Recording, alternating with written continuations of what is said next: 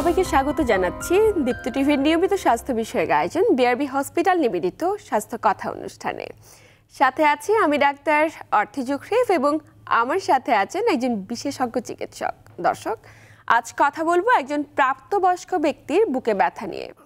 এবং এ বিষয়ে বিস্তারিত আলোচনায় স্টুডিওতে আমাদের সাথে উপস্থিত আছেন স্বনামধন্য বিশেষজ্ঞ চিকিৎসক অধ্যাপক ডাক্তার রেমে বাসার যিনি প্রাক্তন অধ্যক্ষ এবং বিভাগীয় প্রধান ঢাকা ন্যাশনাল মেডিকেল কলেজ ও হাসপাতাল এবং chief consultant internal medicine BRB hospital. Sir স্বাগত আমাদের আজকের আয়োজনে। ধন্যবাদ আপনাকে। সেই সাথে আমি ধন্যবাদ দিচ্ছি বিআরবি কর্তৃপক্ষ এবং দীপ্ত টিভির কর্তৃপক্ষকে। নিশ্চয়ই। স্যার আপনাকে আমাদের মাঝে পেয়ে আমাদের দীপ্ত টিভি পরিবার অত্যন্ত আনন্দিত এবং সেই সাথে কৃতজ্ঞ। ধন্যবাদ।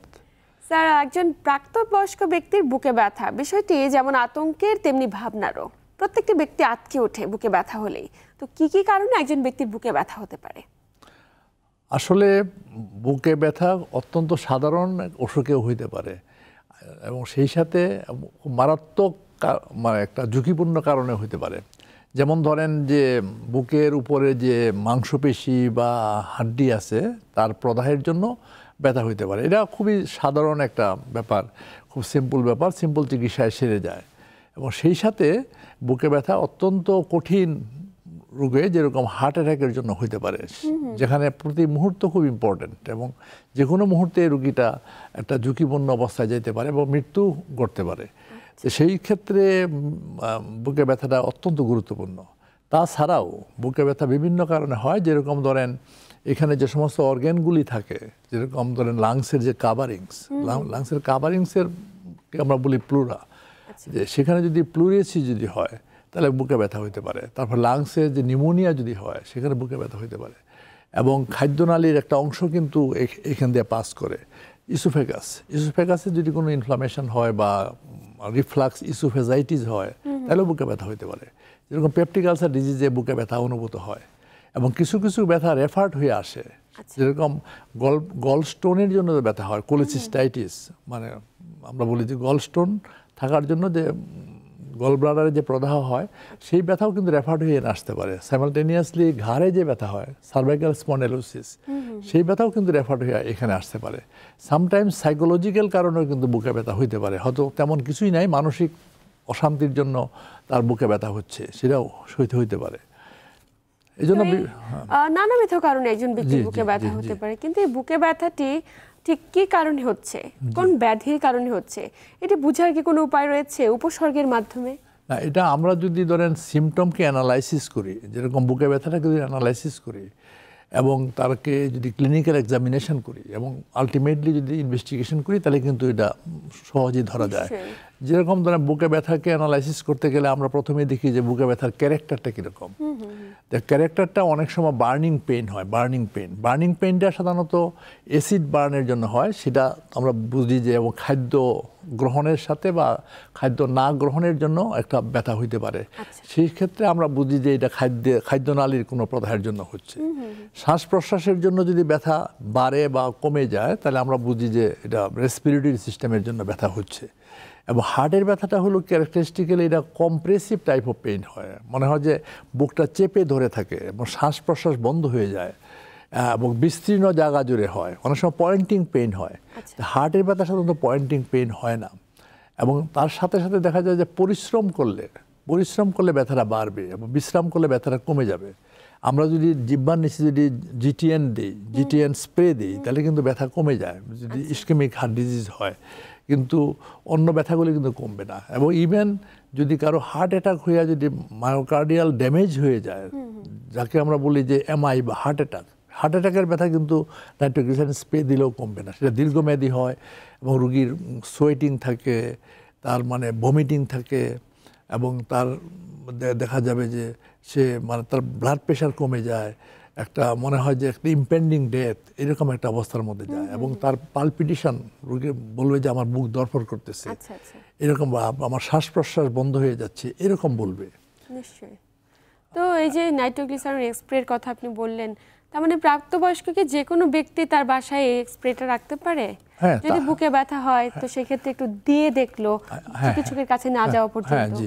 আরেকটা ইন্টারেস্টিং পয়েন্ট হলো এই যে যাদের হার্ট ডিজিজ হয় এবং প্রত্যেক ডিজিজের জন্য কিছু রিস্ক ফ্যাক্টর থাকে। যেরকম যাদের ধরেন ডায়াবেটিস আছে বা যারা নাকি হাইপার টেনশন আছে আনকন্ট্রোল হাইপার টেনশন যারা স্মোক করে যাদের ওজন অনেক বেশি এবং যারা নাকি ধরেন মানে খুব টেন্স লাইফ লিড করে মানে টেনশন অ্যাংজাইটি বেশি থাকে তাদের কিন্তু এবং তাদের ফ্যামিলি হিস্ট্রিতে হার্ট ডিজিজের প্রবণতা বেশি তাদের কিন্তু হার্ট অ্যাটাক হওয়ার সম্ভাবনা বেশি। আচ্ছা। এটা আমাদের খেয়াল রাখতে হবে। যেন একটা প্রাপ্তবয়স্ক লোক তার ডায়াবেটিস আছে তার স্মোক করে বা এরকম রিস্ক ফ্যাক্টরগুলি আছে যেগুলি আমি মেনশন করলাম তাহলে তার হার্ট ডিজিজ হওয়ার একটা প্রবণতা বেশি থাকে।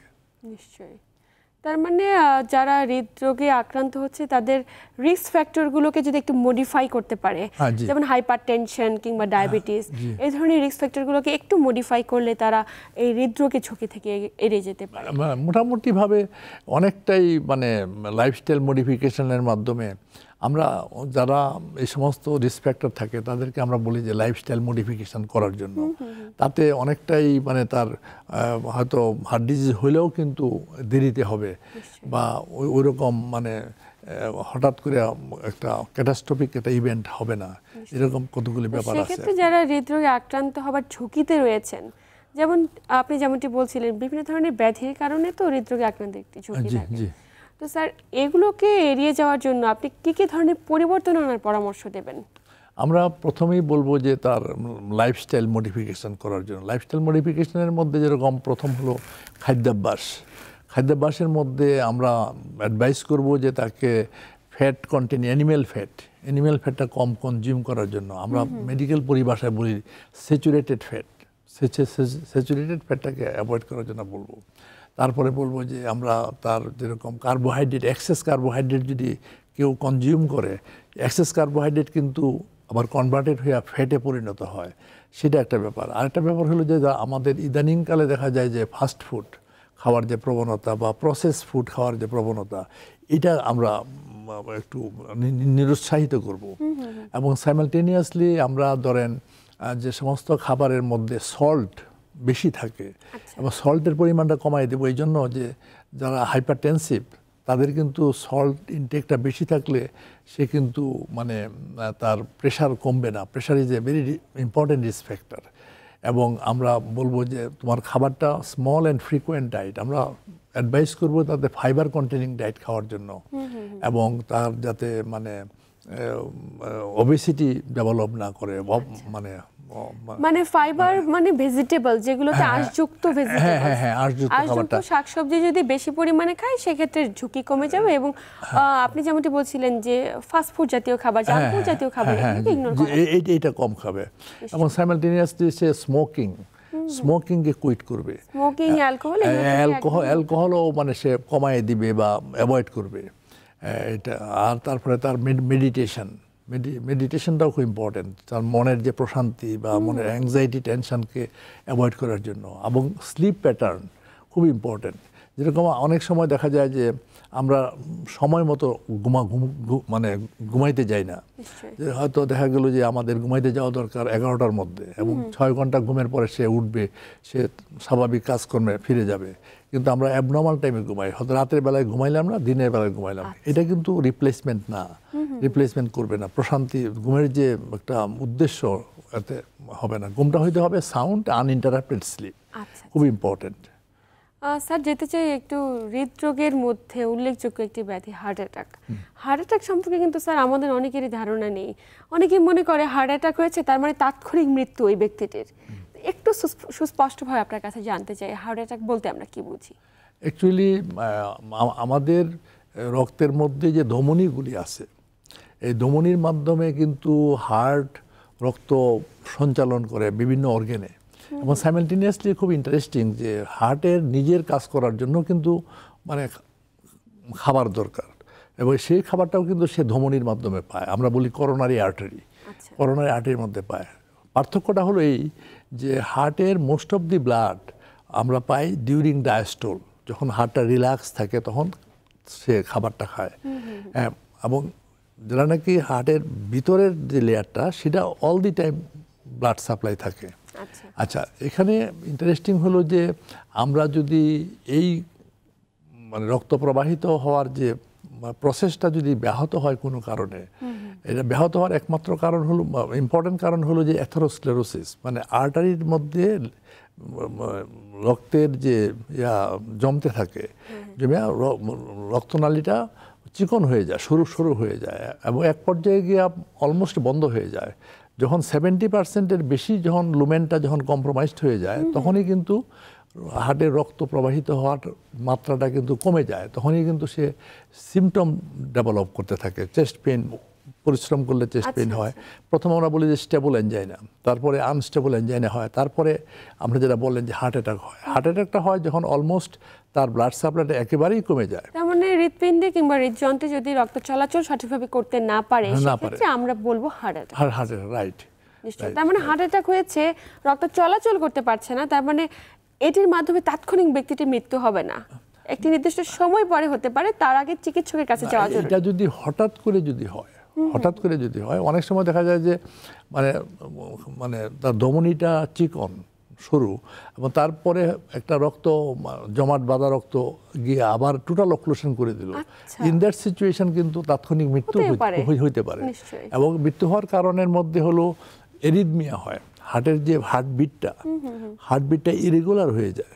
ইরেগুলার হয়ে গিয়ে এমন পর্যায়ে যায় যে হার্টের যে মানে কম্পন হার্টের যে সংকুচিত হওয়ার যে প্রবণতা এটা হয়তো একবারই স্টপ হয়ে যায়। স্টপ হয়ে গেলে তখন তার মানে হার্ট অ্যাটাক হয়। এবং হার্ট অ্যাটাকটা যদি একটু মানে দীর্ঘস্থায়ী হয় মানে এটা যদি সাথে সাথে সচল না হয় তাহলে কিন্তু মৃত্যু হইতে পারে। এই জন্য আমরা বলি যে sudden cardiac death sudden cardiac death এটা কিন্তু মানে খুবই ইম্পর্টেন্ট একটা ব্যাপার। তো সেক্ষেত্রে স্যার উপসর্গগুলো জেনে রাখা খুবই জরুরি যে কখন একজন ব্যক্তি সচেতন হবেন কিংবা চিকিৎসকের শরণাপন্ন হ্যাঁ হবেন।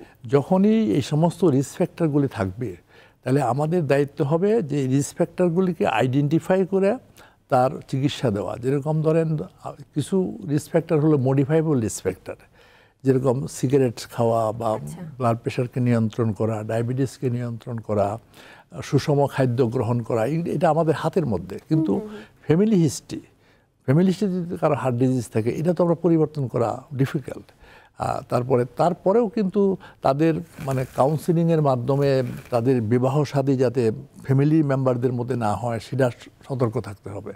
এবং সেখানেও কিন্তু ধরেন তার ডেইলি এক্সারসাইজ মানে হাঁটা আমি এই পয়েন্টটা লাইফস্টাইল মডিফিকেশন আসবে সেটা হলো আধা ঘণ্টা একটু জুড়ে জুড়ে হাঁটা। এতে কিন্তু রক্ত চলাচলটা মানে মোটামুটি হার্টের মধ্যে বিভিন্ন শরীরের বিভিন্ন অংশে ভালো হয়। এই- সমস্ত মানে মাধ্যমে কিছুটা হলেও ভালো থাকা যায়। তো স্যার একজন ব্যক্তির হার্ট অ্যাটাক হলে আমরা তো জানি ব্যথা একমাত্র উপসর্গ বুকে ব্যথা করছে। ব্যথার ধরনটি কি রকম হতে পারে? ব্যথা কি কনস্ট্যান্ট একই জায়গায় থাকবে নাকি রেফার্ড হয়ে কোথাও যেতে পারে? ব্যথাটা একটা ফিলিং অফ টাইটনেস বুকের মধ্যে মনে হয় যে চাপ দিয়ে ধরে চাপ দিয়ে মনে হয় যে একটা বান দিয়ে রাখছে এরকম বলা হয়।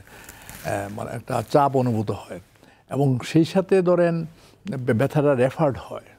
রেফার্ড হয় হাতের দিকে যেতে পারে আচ্ছা। বাম হাতের দিকে। ডান হাতের দিকে যেতে পারে উপরের দিকে যেতে পারে জতে যেতে পারে রেফার্ড পেইন একটা ক্যারেক্টারিস্টিক ফিচার্স মানে এই পেইনের এবং তার সাথে আনুষঙ্গিক কিছু সিমটমস থাকে যেরকম বুক দরফর করতে পারে শ্বাসকষ্ট অনুভূত হতে পারে। আচ্ছা। কিন্তু যারা নাকি বৃদ্ধ বৃদ্ধ বা যাদের নাকি ডায়াবেটিস আছে তাদের কিন্তু ব্যথাটা ওরকম ক্যারেক্টারিস্টিক ব্যথা নাও থাকতে পারে। মানে তাদের ক্ষেত্রে নিউরোপ্যাথির জন্য। এত বেশি প্রকাশ বহিঃপ্রকাশ হ্যাঁ। নিউরোপ্যাথির জন্য। দীর্ঘদিন ডায়াবেটিস থাকলে হয় কি নিউরোপ্যাথি ডেভেলপ করে। তখন পেনটা কিন্তু ওরকম ভাবে ফিলিং হয় না। এবং পেনটা যে রেফার্ট হয় এটাও কিন্তু নার্ভ ডিস্ট্রিবিউশনের জন্য আচ্ছা। রেফার্ট হয়। তো স্যার একজন ব্যক্তির বুকে ব্যথা হলো পেন্টি রেফার্ট হলো এবং শ্বাসকষ্ট এই যে উপসর্গগুলোর কথা আমরা জানলাম তাৎক্ষণিকভাবে তো আমাদের দেশের প্রেক্ষাপটে অধিকাংশ রোগীরা চিকিৎসকের কাছে যেতে চান না। তারা ধরেই নেন যে হয়তো বা আমার অ্যাসিডিটি হয়েছে কোনো একটা খাবার খাওয়ার কারণে অ্যাসিডিটির কারণে বুকে ব্যথা করছে। আচ্ছা একটু দেখি বা একটু ফার্মাসিতে যাই। তারা কোনো ওষুধ দিল, সেটি খেলো। একটু অপেক্ষা করল। এতে করে দেখা যায় ছয় ঘণ্টা, আট ঘণ্টা পেরিয়ে গেছে বা দীর্ঘ সময় অপেক্ষা করার পরে সকালে শুরু হয়েছে, রাতের বেলা গেল চিকিৎসকের কাছে। এটি আসলে কতটুকু যৌক্তিক? আপনি যে কথাটা বলছেন, এটা খুবই ইম্পর্টেন্ট এবং এটা আমাদের জনসচেতনতা বিল্ড আপ বিল্ড আপ করা দরকার অ্যাওয়ারনেস বিল্ড আপ করা দরকার। সেটা হলো যে যদি কোনো ব্যক্তির রিস্ক ফ্যাক্টরগুলি থাকে যেগুলি আমি উল্লেখ করলাম স্টার্টিং ফ্রম ডায়াবেটিস হাইপারটেনশন এবং স্মোকিং এগুলি থাকে প্লাস তার যদি এই ধরনের বুকে ব্যথা হয় তার কিন্তু immediately immediately without losing any time ডাক্তারের শরণাপন্ন হওয়া দরকার এবং কাছাকাছি বেস্ট হসপিটাল যেখানে নাকি হার্টের চিকিৎসা হয় সেখানে যাওয়া দরকার। কারণ এখানে আমরা বলি যে time is myocardium time is heart যত ডিলে হবে তত হার্টের ড্যামেজটা বেশি হবে। এইটাই হলো কনসেপ্ট এবং যত তাড়াতাড়ি যাওয়া যায় যেরকম আমরা বলি যে door to needle time door মানে রুগীর বাসা থেকে ইঞ্জেকশন নেওয়া পর্যন্ত। আমরা একটা ইঞ্জেকশন দিই। সাথে সাথে এই- এই ওষুধটাকে বলা হয় থ্রম্বোলাইটিক ড্রাগস আমাদের দেশের স্টেপটোকাইনেস বিভিন্ন জায়গায় টিপিএ বা টেনেকটি প্লেস দেওয়া হয় কস্টলি ড্রাগস এই ড্রাগসগুলি যত দ্রুত দেওয়া যাবে তত তার ক্লটটা ডিজলভ হয়ে যাবে। এবং এটা দ্রুততার সাথে দিলে ক্লট ডিজলভ হয়ে গেলে আবার রক্ত চলাচল চালু হয়ে যাবে। তো এটা এত ইম্পর্ট্যান্ট এই জন্য ডোর টু নিডল টাইম হলো লেস দেন থার্টি মিনিটস আচ্ছা। তিরিশ মিনিটের মধ্যে যাইতে হবে সবচেয়ে বেস্ট আর হলো ডোর টু বেলুন টাইম মানে যে সমস্ত রোগীর এনজিওপ্লাস্টি করা হয় সেটা হলো ninety minutes less than ninety minutes হইলে সবচেয়ে ভালো। তারপরেও করা হয় কিন্তু তা- ওই ফলাফল কিন্তু ওরকম আসে না। আচ্ছা। এই জন্য মানে যদি রিস্ক ফ্যাক্টর থাকে চেস্ট পেইন থাকে ইমিডিয়েটলি হসপিটালে যাওয়া দরকার। দেন ডক্টর ইনভেস্টিগেশন করে দেখবে সিমটম অ্যানালাইসিস করে দেখবে তাকে ফিজিক্যাল এক্সামিনেশন করে দেখবে। এবং এটা যদি হার্টের হার্টের সাথে যদি কনসিস্টেন্ট হয় তখন কিন্তু বেস্ট পসিবল ট্রিটমেন্ট দেওয়া সম্ভব। যে সমস্ত সেন্টারে ধরেন এনজিওগ্রাম করা সম্ভব এনজিওপ্লাস্টিক করা সম্ভব। আমরা বলি প্রাইমারি পিসিআই করা হয় প্রাইমারি। প্রাইমারি পিসিআই করলে তার একবারে আগের মতো তার অবস্থা ফিরে আসবে। আচ্ছা আচ্ছা। তো স্যার চিকিৎসা পদ্ধতিতে নানা ধরন রয়েছে। সেক্ষেত্রে ইনভেস্টিগেশনের ধরন রয়েছে। যখন হার্ট অ্যাটাক হয়েছে কয়টা ব্লক হয়েছে এটি শনাক্তকরণ করেই ফেলেন বিভিন্ন পরীক্ষার মাধ্যমে। চিকিৎসা পদ্ধতির সুবিধাগুলো কি কি? এখানে অ্যাকচুয়ালি একটা রুগী যখন মানে প্রাথমিকভাবে চেস্ট পেন নিয়ে আসে তখন এই ওই রুগী রুগীগুলিকে ইমার্জেন্সিতে শর্ট অ্যাসেসমেন্ট করা হয় এবং চিকিৎসাও দেওয়া হয় সাইমালটেনিয়াসলি আচ্ছা। এবং তাদেরকে বেস্ট ট্রিটমেন্টটা দেওয়া হয় সিসিউর মধ্যে coronary care unit coronary care ইউনিটে তিনটাভাবে চার- চারটাভাবে চিকিৎসা করা হয়। একটা হলো ধরেন pharmacological therapy pharmacological therapy pharmacological থেরাপির মধ্যে সবচেয়ে ইম্পর্ট্যান্ট হলো যে আসার সাথে সাথে আমরা অ্যাসপিরিন এবং ক্লোপিডোগ্রেল অ্যান্টিপ্লেটলেট ড্রাগসগুলি আমরা দিয়ে দিই। তার রেস্টটাকে এনশিওর করি তাকে অক্সিজেন দেওয়া হয় এবং রুগীকে যে অবস্থায় থাকলে রুগীরা বেটার ফিল করে সেই অবস্থায় তাকে রাখা হয়। তাকে অ্যাসিওর করা হয় যে ইউল বি অল রাইট কিন্তু সাইমালটেনিয়াসলি অ্যাটেন্ডেন্টকে আমাদের বলতে হয় যে patient is in serious condition just to মানে ইনফর্ম দি আর কি। নেক্সট হলো আমরা থ্রম্বোলাইটিক ড্রাগস দিই যেটা নাকি ধরেন ডোর টু নিডল টাইম হলো থার্টি মিনিটস থার্টি মিনিটসের পরেও যদি আসে তা তারপরেও দেওয়া হয়। আচ্ছা এটা গেলো একটা মেডিকেল ট্রিটমেন্ট তারপরে ইন্টারভেনশান ইন্টারভেনশানে আমরা যেটা করি এনজিওগ্রাম করা হয়। এনজিওগ্রাম করে সাথে সাথে সম্ভব হলে তার এনজিও প্লাস্টিক করে রিং ইনসার্ট করা হয়। মানে ইয়া করা হয় স্ট্যান্ড স্ট্যান্ড বসানো হয়। যদি স্ট্যান্ড বসানো সম্ভব না হয় যদি ভেসেলগুলি ডিফিউজ থাকে তিনটা ভেসেলেই যদি ইনভলভ থাকে সেই ক্ষেত্রে আমরা অনেক সময় বলি যে বাইপাস সার্জারি করার জন্য। আচ্ছা। এবং অনেক সময় দেখা যায় যে সাইমালটেনিয়াসলি পেশেন্টের হার্ট ফেলিউর হইতে পারে কমপ্লিকেশন হার্ট ফেলিউরের জন্য চিকিৎসা দেওয়া হয় তার যদি এরিদমিয়া হয় এরিদমিয়ার জন্য চিকিৎসা দেওয়া হয় তার যদি রিস্ক ফ্যাক্টরগুলি যে থাকে রিস্ক ফ্যাক্টর যেমন ডায়াবেটিস হাইপার হাইপারটেনশন সেগুলির চিকিৎসাও সাইমালটেনিয়াসলি দেওয়া হয়। তার যদি কোলেস্টেরল লেভেল হাই থাকে কোলেস্টেরলের জন্য চিকিৎসা দেওয়া হয় ম্যান্ডেটরি কোলেস্টেরল চিকিৎসা দেওয়াটা ম্যান্ডেটরি তো এইভাবে তাকে ওভারঅল টোটাল রুগীরাকে চিকিৎসা করা হয়।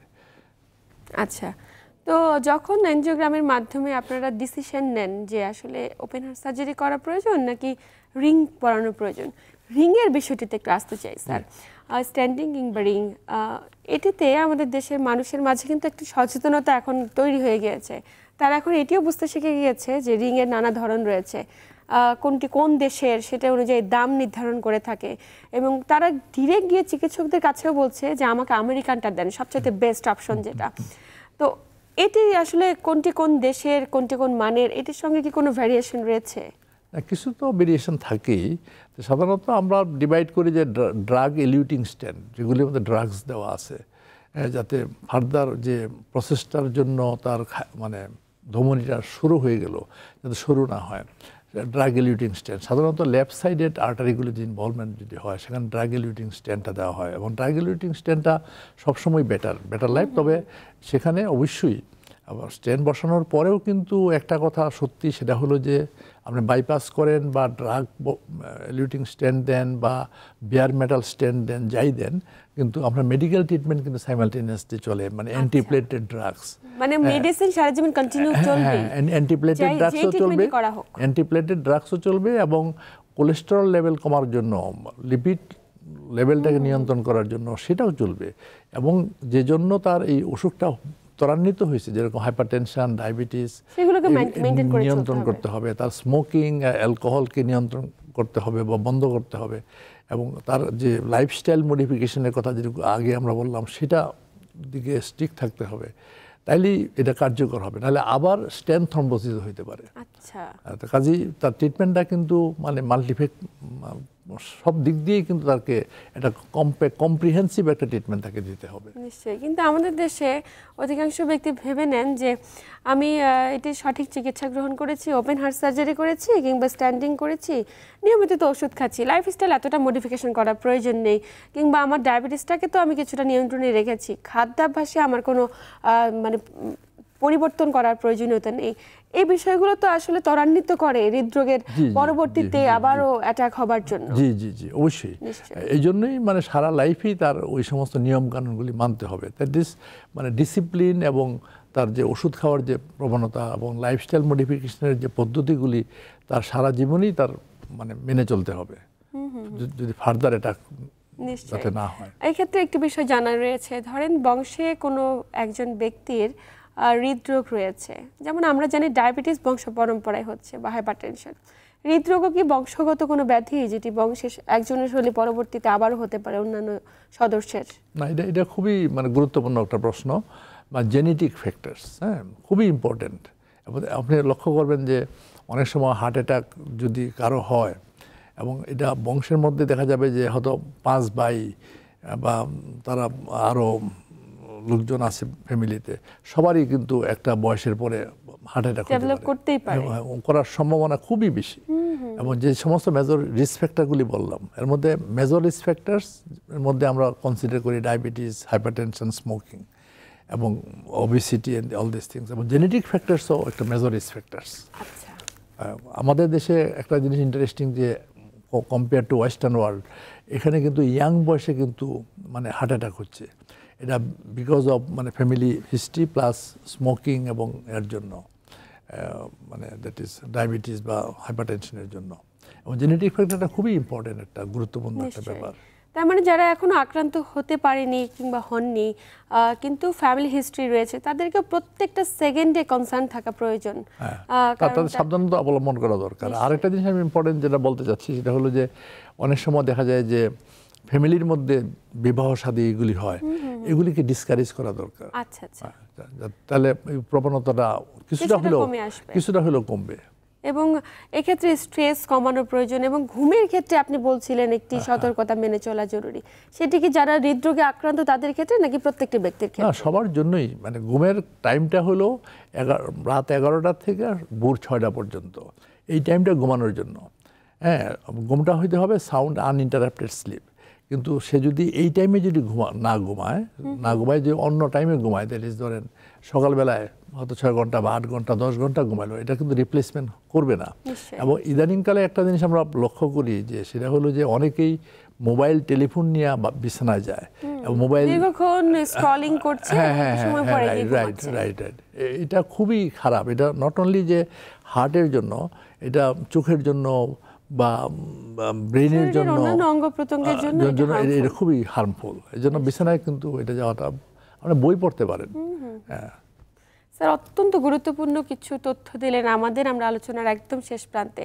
প্রত্যেকটি তথ্য আসলে দর্শকদের জন্য অনেক উপকারের এবং আমাদের প্রত্যেকটি দর্শক আপনার প্রত্যেকটি কথার দ্বারা অনেক বেশি উপকৃত হয়েছে।